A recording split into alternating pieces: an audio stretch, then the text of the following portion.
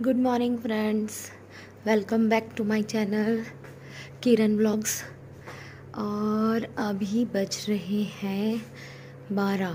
मेरा सारा काम फिनिश हो गया। और मैंने किचन में, देखो, दाल में तड़का लगा लिया है। आज मैंने मूंग की दाल बनाई है। देखो फ्रेंड्स अब ना दोपहर हो रही है और मैंने ना कपड़े धो लिए हैं। मैं धूप में इन्हें डाल रही हूँ ड्रायर कर रखे हैं।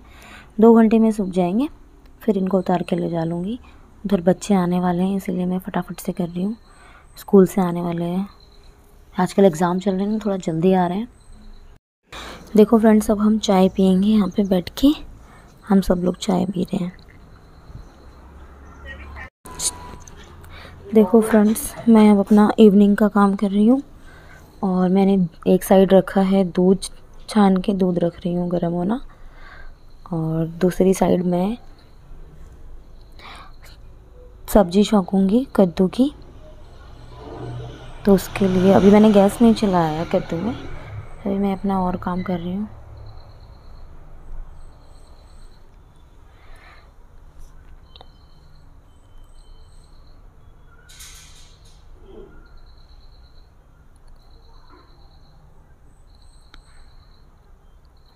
मैंने गैस चला दिया है। मैंने स्लो आँच में किया हुआ, क्योंकि मैं ना किचन में एक साथ बहुत सारे काम करती हूँ तो मैं सबको ज़्यादातर मोस्टली स्लो में ही करती हूँ। गैस को स्लो रखती हूँ।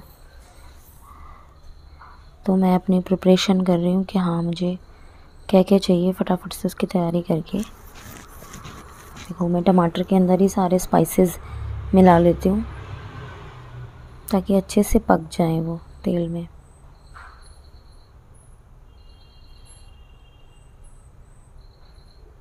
मैं नाप के ही तेल डालती हूँ। देखो, डेढ़ बड़ा चम्मच मैं तेल डालती हूँ। ताकि ज़्यादा ना हो जाए, ज़्यादा ऑयली ऑयली सा भी कोई भी सब्ज़ी अच्छी नहीं लगती।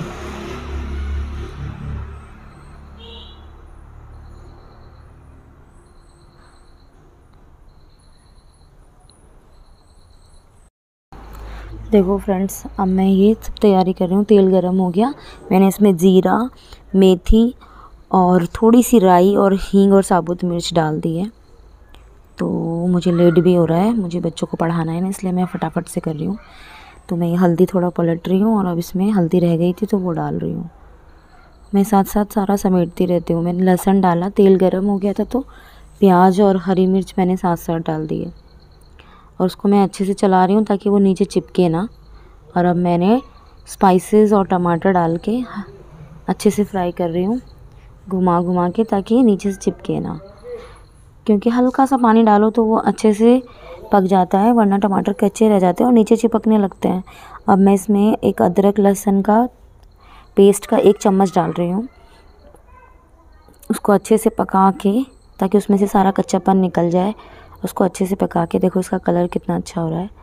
अब मैं हल्का सा एक मिनट ढक के इसको पकाऊँगी और दूध पे मैंने छन्नी रख दी साइड में।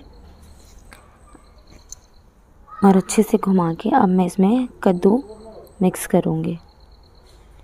देखो, उसका कलर भी बहुत अच्छा हो रहा है। मैंने गैस को सिम किया और अब मैं इसमें कद्दू डाल रही हूँ। इसको अच्छे से घुमा के, देखो, हम लोग कद्दू मीठा खाते हैं तो हल्का सा पानी डाल के। देखो फ्रेंड्स लगभग किचन में सब काम हो गया, सब्ज़ी छोंक दी है और दूध गर्म हो रहा है। बेटे के लिए दूध गर्म कर रही हूँ कॉफ़ी दूँगी उसको बना के। ये देखो। ठीक है। वो पढ़ने के लिए बैठ रहे हैं ना, बोल रहे दूध दे दूँ।